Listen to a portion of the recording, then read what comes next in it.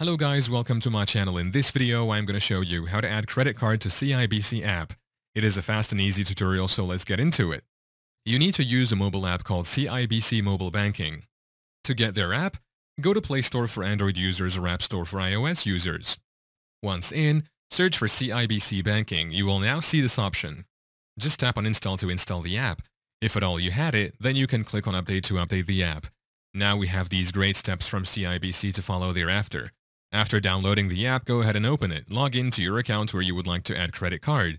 Now follow the on-screen instructions to add your CIBC credit card or debit card. You can also add your card with the CIBC mobile banking app. Just find the settings and security option on the screen and tap on it. Set your CIBC card as your default payment option or select it right before you pay. Wake up your phone and use it wherever you tap your card and you're done.